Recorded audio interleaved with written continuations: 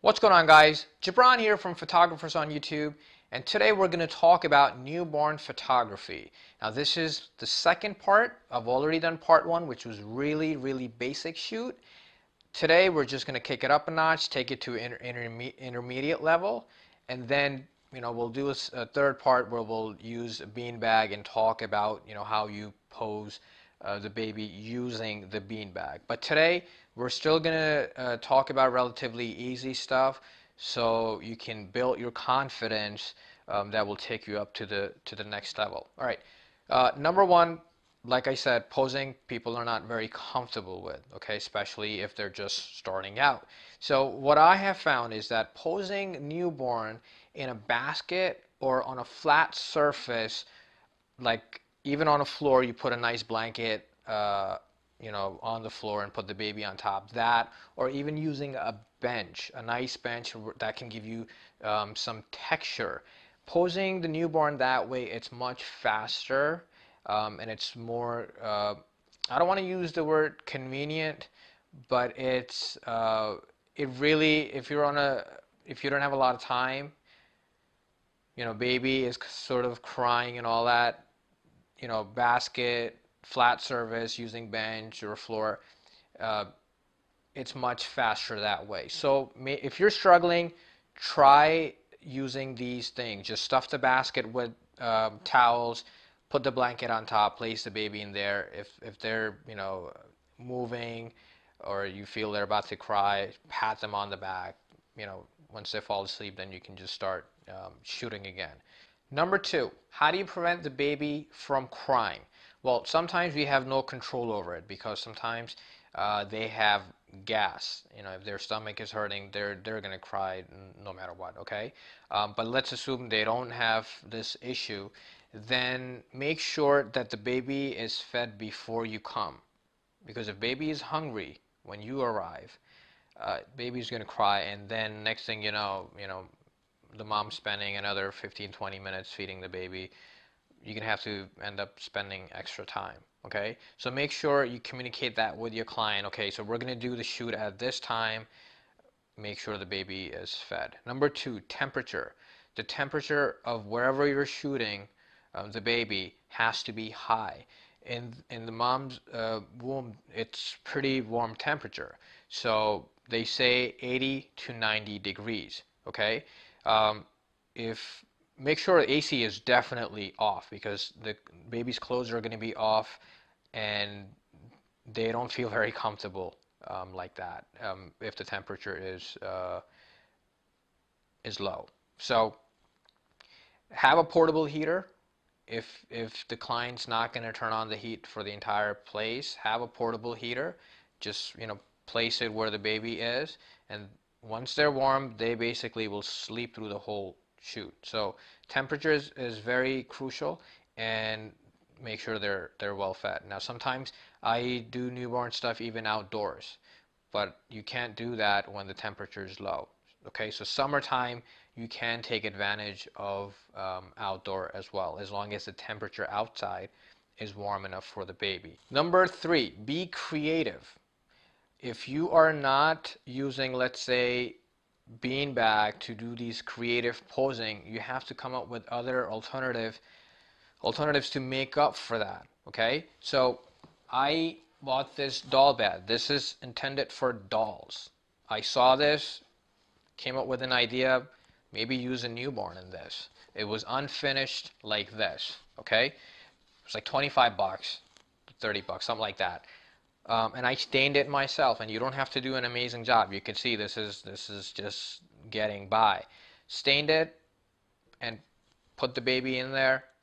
Again flat surface. It's much easier much faster to to pose them here than on a beanbag. I'm not saying that posing in the beanbag is very difficult. We'll talk about that in our you know third or fourth video. Um, you know whatever you have around you, just just use that in a creative way. Um, I saw this heart, decided to take a picture through the heart.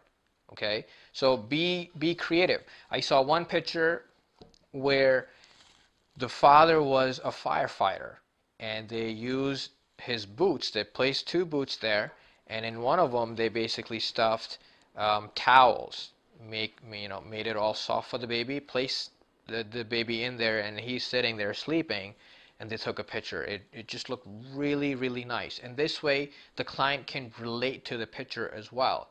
So find out, you know, what the parents do you know, for a living. I mean, sometimes, yeah, it's kind of rude, you know, you're directly asking them these questions, but let them know why you're asking these questions just in case if you can incorporate something into the shoot. Maybe the dad is into sports or something, you know, you can use that um, and incorporate that in your, um, in your shoot. Number four, use hats.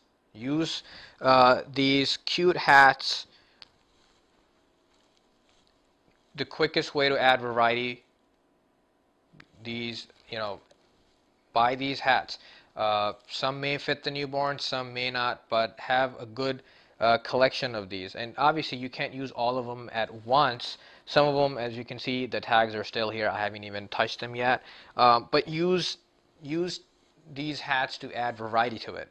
Um, don't wait till the last minute to buy these hats because they may not have the hats at all or you may end up paying regular price. I don't pay regular price for anything except for you know my camera and lenses equipment.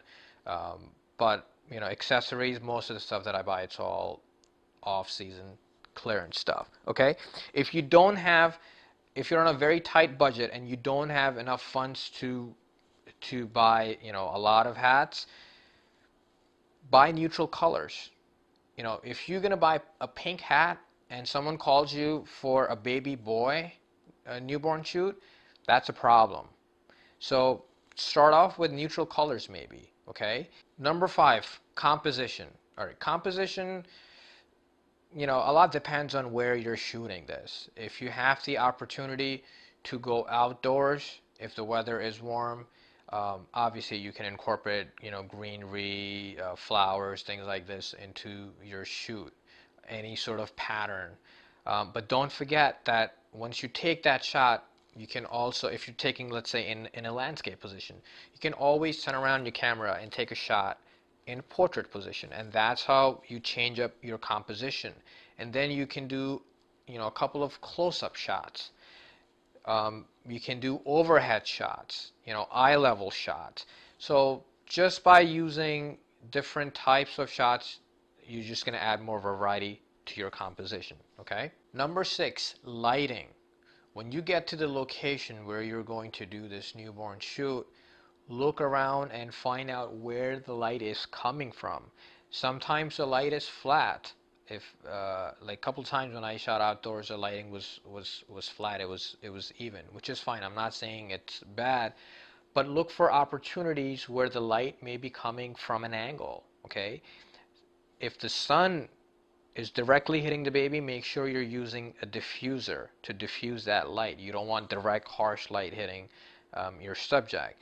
So make sure um, if if there is an opportunity to use that light coming from a window or a door, you can open the door and get you know get extra natural light. Take advantage of that. Um, keep in mind, have your flash with you because sometimes the way light is hitting, it may create a lot of shadows on the other side.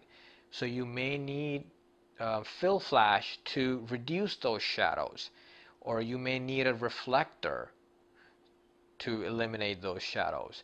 And at last I want to talk about the lenses and aperture. I've already talked about it in the first video, but just in case if, if you guys did not watch that video, I'll just say it one more time. Use prime lenses for your newborn shoot. Um, the reason why is because you want to shoot at really big aperture like f1.8 um, or f2, f2.2 depending on how sharp your lens is. Uh, my older lens, one, uh, 50 millimeter 1.8D wasn't um, as sharp as my newer lens so I was shooting uh, around 2, 2.2. The newer lens is much sharper So now I get to shoot at f1.8 and you really need that shallow depth of field. You don't want your newborn pictures to be very, very sharp because their skin is peeling off. The, there's a lot of redness in there and you don't want all that stuff to be very prominent okay so make sure you're using a prime lens um, I would hi highly recommend 50 millimeter lens um, I've used 85 millimeter as well when I really needed shallow depth of field but you have to have a lot of space for that. So I would say 90% of the times I was using, I, I use 50 millimeter lens. It's, it's a great, uh, you know, focal range in my opinion. So use big aperture, wide open, if, if the quality of your lens is great, um, and, you know, prime lens. All right, hope all is well. And if you have any questions, please let me know. There's already a video on how to edit newborn stuff. And, you know, soon I'll talk about where I buy all these hats and, you know, bed and all that stuff. We'll, we'll, we'll talk about newborn prop um, buying guide kind of.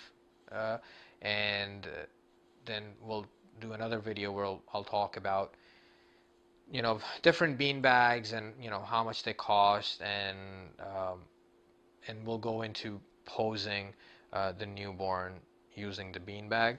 Real quick guys if you enjoy my videos if you learn anything please give it a thumbs up.